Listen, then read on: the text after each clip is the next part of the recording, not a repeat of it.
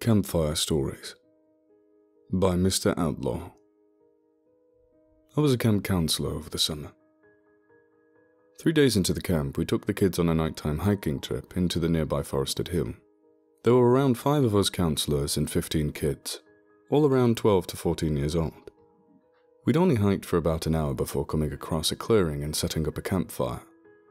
While it had gotten dark, the forest wasn't exactly daunting. Safe to say, it was looking to be a pretty uneventful night. I should note that at one point during the hike, one of the counselors, Mike, went to take a piss in the trees, coming back about two minutes later. The only peculiar thing about this occurrence was that he went relatively deep into the woods, probably further than he really needed to. He probably just wanted to make sure that he was absolutely out of sight beforehand. This will be important. As we started cooking up some s'mores, the counselors and campers began telling spooky stories. One of them really stood out. That was until Mike began telling his. Alright, I've got a good one. So, a group of counselors and campers go hiking one night in a summer camp. I rolled my eyes. He was going for that angle, but the kid seemed invested in it, so I silently listened on. They go up a small hill, and then they sit down in a clearing and begin telling campfire stories. Everything seemed normal until one story was interrupted by a sound in the woods. He paused for a second, and right on cue, there was a rustle in some nearby trees. Okay, I thought that was slightly clever. The kid seemed extremely tensed by this, but some of the counselors were smiling, so I assumed they were in on it. So one of the counselors gets up to go check it out. He then gestured to one of the female counselors, Amy. For a second, Amy looked confused, but Mike just gestured again. Eventually, she took the hint and got up, going towards where the sound occurred. She came back moments later, only to report that there was nothing. She still seemed confused, which caused me to question if she was really in on it or not. Mike went on. When the counselor came back, she said there was nothing there. But she was wrong. Mike smiled, although it was a weird one. Something subtly frightening about it. Could sense some genuine fear creeping up on some of the kids' faces as well. There was a tension in the air, Mike went on. Everybody could feel it, but nobody could describe it. I'm not sure if it was just a mental thing, but my skin prickled when he said this. The air around us did indeed feel like it had changed, in some inexplicable way. Everybody else looked like they were experiencing something similar. All wrought the faces of discomfort. Another sound came from the woods. This time, it was laughter, as unnatural as laughter could get.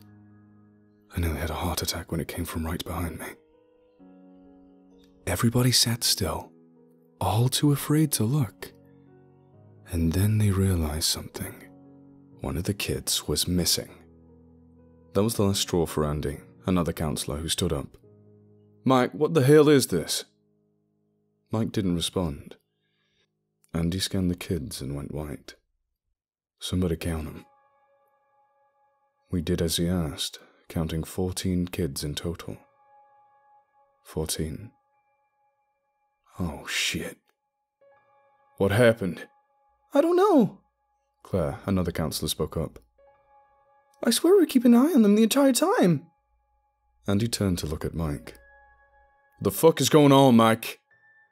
Mike smiled before continuing his story. During the chaos, they heard footsteps coming from everywhere.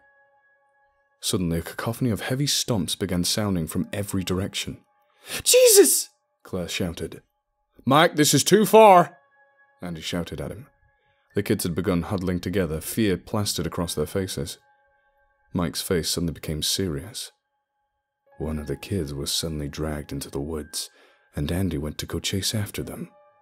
We heard a scream, and I turned around just in time to see one of the campers disappearing into the forest.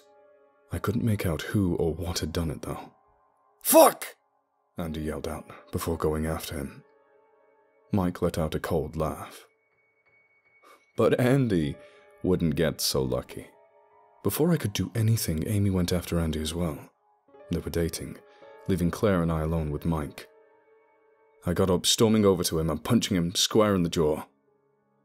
For some reason, I thought that if I could get him to stop talking, all the shit that was going on would stop as well.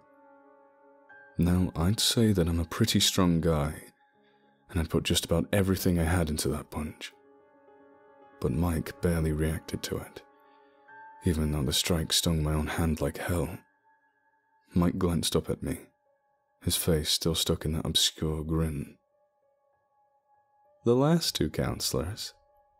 I turned the other way before he could finish the sentence, rounding up the remaining campers and telling them to make a beeline out of there. Claire followed suit and we began booking it out of the forest. We couldn't hear Mike, or whatever, following us, so I let myself breathe a bit. Still, I knew that this was going to be hard to explain once we got back. At some point, we saw a figure wandering out of the woods. I stopped in my tracks, not really knowing what to do. The figure groaned as it meandered its way into the moonlight. It was. Mike? The actual Mike, I guess. His clothes were torn and his head was bleeding. His chest was also exposed, with what looked like some strange symbol carved into it. I don't remember exactly what it looked like. He looked up at us before asking, what happened? in a shaky voice. Before I could respond, he passed out. I began running over to him, but stopped when I heard Claire scream. I turned around to see another camper being dragged into the woods. Fuck it, I muttered to myself, before yelling at the rest of them to keep going. We left Mike, before bolting the hell out of there. There was some more commotion behind us as we ran, with kids being dragged into the surrounding woods left and right. It couldn't have been helped. At a point, I could hear faint cackling coming from somewhere indistinct, but I knew who it was coming from. When we made it down the hill, my lungs were about to collapse. I looked back, seeing that there was only one remaining camper plus Claire left. Both exhausted and having the blood drained from their faces, we simply stared at each other. And then the kid began smiling. The counselors had escaped, but that wasn't the end of their story, he said in the same tone of voice that fake Mike had been using. Upon hearing that, I lost it and began running, against my body's pleas to rest. I heard Claire once again screaming from behind me, but again it couldn't be helped. When I got back to the main camp, I entered the cabin to see if my supervisor was there. He wasn't. I was about to go looking for him, but I was so tired I had to rest first. I made my way over to the bed and plopped down, planning on simply staying there for a few minutes. But when I woke up, there was sunlight bleeding through the curtains. Somebody was shaking me awake. It was Blake, my supervisor. Come on, man, get up. Time for breakfast. Go shower first, though, jeez. Wait, I said to him. I have to tell you something. Tell me after you shower, he said before leaving. I got up and chased him into the dining hall. When I saw that made me freeze. All the counselors and campers that had been on the hike. They were all there. Blake turned to face me. What did you want to talk about? And where's Mike? I quickly scanned for Mike. I had noticed he wasn't there the first time. As I began stammering for an answer, the fake campers and counselors all turned to face me simultaneously. That left me at a complete loss for words. I ran out of there, got straight into my car, and floored it. I didn't let myself breathe until I got back onto the highway.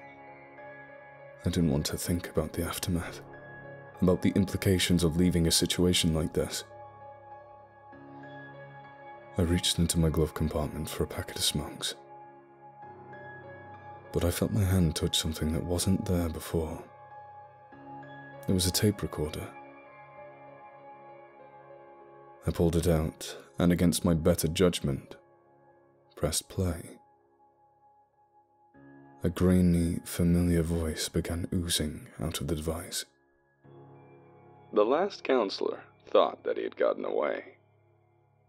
But little did he know, our paths would soon cross again.